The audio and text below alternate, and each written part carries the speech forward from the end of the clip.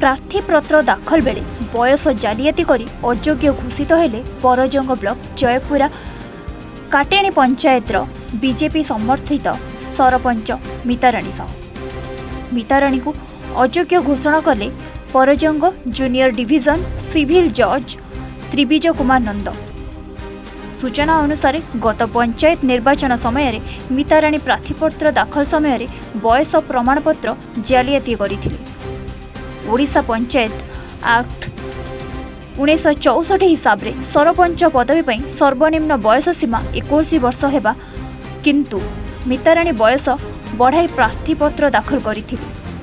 ଯାହାକୁ ନେଇ ନିକଟତମ ପରାଜିତ ପ୍ରାର୍ଥୀ ମିନୁ ବେହେରା ପରଜଙ୍ଗ କୋର୍ଟରେ ଚାରି ବାଇ ବାଇଶରେ ଏକ କେସ୍ ରୁଜୁ କରିଥିଲେ।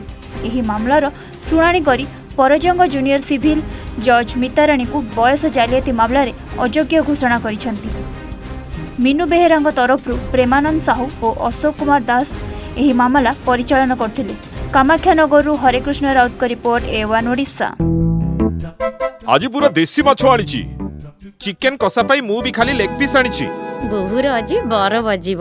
ପିଆଜ କାଟିବ ରସୁଣ ଛଡେଇବ ଅଦା ଛେଚିବ ନଖ ଖାଲି ରହିଲେ ହେଲା। ଆଜି ସମସ୍ତେ ଆଙ୍ଗୁଠି ଚାଟି ଖାଇବେ। ବିନା ପିଆଜ ଅଦା ରସୁଣ ମସଲାରେ ଯାହା ତ ଲାଗିବ। ହୁଁ, ଖାଅ ଖାଅ। ଆରେ ବାହ ସୁଗନ୍ଧ ଯେମିତି ସ୍ୱାଦ ବି ସେମିତି। ବଢିଆ ଲାଗୁଛି। ଏଥିରେ ପ୍ୟୁରୋ ପିଆଜ ଅଦା ରସୁଣ ସବୁ ମସଲା ପଡିଛି।